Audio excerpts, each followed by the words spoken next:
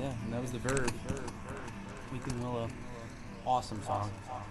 Off their album, Urban Hymns. Everybody knows that album with Bittersweet Symphony. Fantastic album. If you don't have it, buy it. You gotta get that on vinyl. Classic.